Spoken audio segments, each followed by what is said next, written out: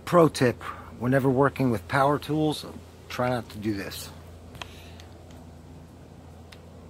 Yeah, that sucked. Yeah, try not to do this either. This one hurt.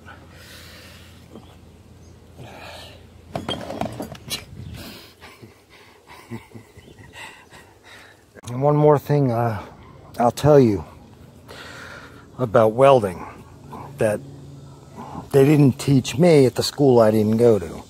There's like little, I don't know, I think they call it slag. It's like not um, pure metal. It's just all the all the minerals in there that don't crystallize to form uh, steel. So it has to be chipped away.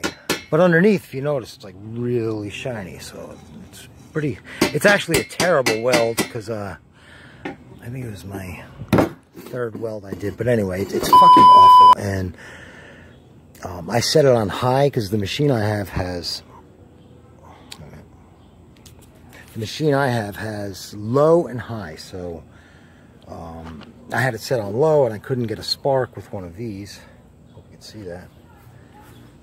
And I switched it to high and it was, uh, the plasma was just popping holes in the steel left and right. So you could see that here, I'll show you.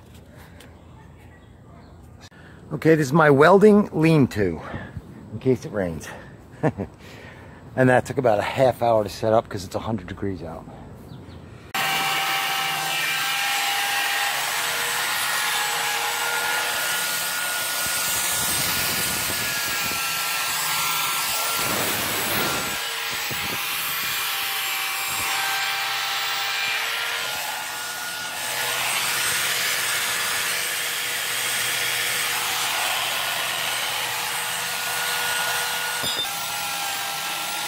I need to attach this, this uh, clamp. So it's got to go here. Looking good, eh?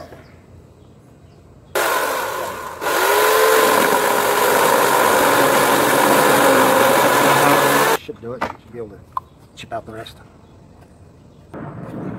Chipped out. There's the little block that came out. Here. Not a perfect cut. Perfect what I need it for. There's the, that's what I was trying to set up. The, uh, the vise. I called it a clamp, but you know what it is. Or maybe it is a clamp. I, I don't know. Who cares? But that was uh, a good idea, I think.